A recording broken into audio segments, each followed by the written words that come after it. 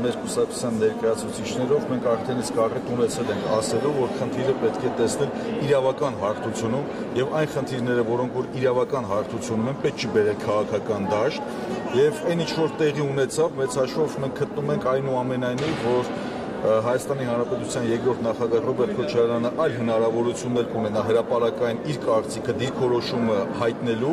եւ խոսքի ազատության մասով տարբեր կազմակերպություններ, քաղաքական թիմերի ներկայացուցիչներ կարող են իրենց պիկետները, ակցիաները կազմակերպել եւ իրենց դիրքորոշումը հայտնել։ իսկ ձեզ սա ավելի շատ քաղաքական որոշում է, թե իրավական հաշվի առնելով նաև այն, որ դատավորը եղել է ռեֆերենդ Ռոբերտ Քոչարյանի աշխատակազմում։ Տեսեք, գործի մանրամասներին ես ինքս ծանոթ չեմ։ Երբ որ ես ինքս կծանոթանամ մեր խմբակցության, մեր կուսակցության փորձագետները մանրամասն ուսումնասիրեն, նոր մեզ կարող ենք թույլ տալ թիմի հետ քննարկելով արդեն դիրքորոշում հայտնելու։ Այս պայդրությամբ ես պետք է վերահաստատեմ եւ ասեմ, մենք խնդիրը տեսել եւ ձևակերպել ենք հետեւյալ կերպով, որ մենք տեսնում ենք իրավական դաշտում եւ իրավական լուծումները պետք։ Եվ կրկնում եմ, իրավական դաշտի խնդիրները պետք չի բերել քաղաքական դաշտ։ Իսկ որ ասում եք փորձագետները հիմա չեն ուսումնասիրում ձեր փորձագետները, որտեղ մեկ ամիս է այդ մանրամասներ կա, որ այս տեյության չի հրապարակվել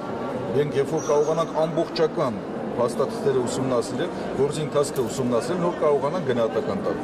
Այդ տեսեք, օրինակ դաշնակցությունը եւս հայտարարեց, որ քաղաքական հետապնդում կա, այսինքն իրենք հաստատ չեն գա։ Իրավունքն է, եւ մենք հարգանքով ենք վերաբերվում յուրաքանչյուր կարծիքի եւ դիրքորոշման։ Մենք ներկայացնում ենք մեր քաղաքական թիմը եւ ներկայացնում ենք մեր դիրքորոշումը։ Կարող ենք ասել, որ ԲՀԿ-ում չեն կարծում, քաղաքական հետապնդման է ենթարկվում։ Պատրաստվում այլ մեկնաբանություններ եւ գնահատականներ տալ։ Մենք ներկայացնում ենք մեր դիրքորոշումը։ Հատյունեմ կարող եք ասել, որ ԲՀԿ-ում